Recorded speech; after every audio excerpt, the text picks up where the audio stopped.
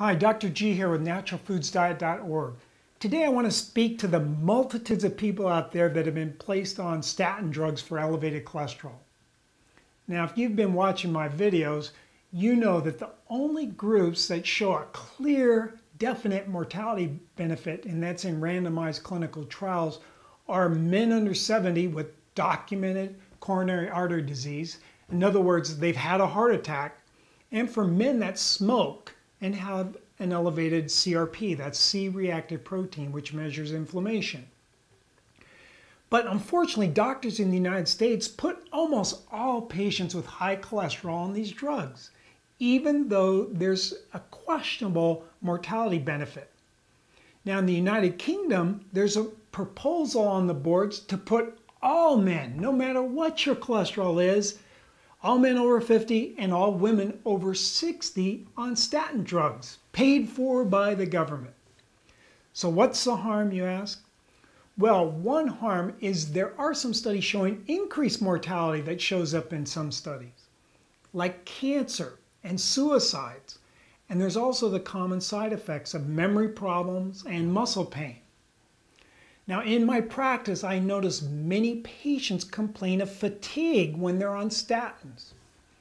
And fatigue has a huge impact on the quality of life. Now we have some powerful evidence that the statins cause fatigue. And this is from a randomized clinical trial of over a thousand men and women using simvastatin and pravastatin, and they were compared to placebo in a randomized trial. Now, the findings were that the statin users were found to have a greater likelihood of a decrease in energy and increased fatigue with exertion compared to those getting placebo. In fact, there was like a 40% difference, which was highly statistically significant. Now, this study report was published in the June 12, 2012 issue of Archives of Internal Medicine, and it was published in a letter. Now, the study showed the effect on energy was more pronounced in women. And guess what? There aren't many mortality benefits seen with statins in women. Now, simvastatin and pravastatin are considered the weaker statins.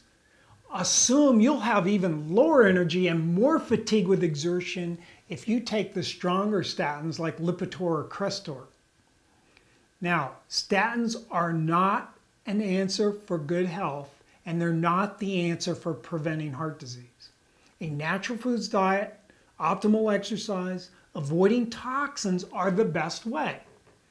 Now, if you'd like a personalized lifestyle consultation with me, click on the button to the side. This is Dr. G. Thanks for watching.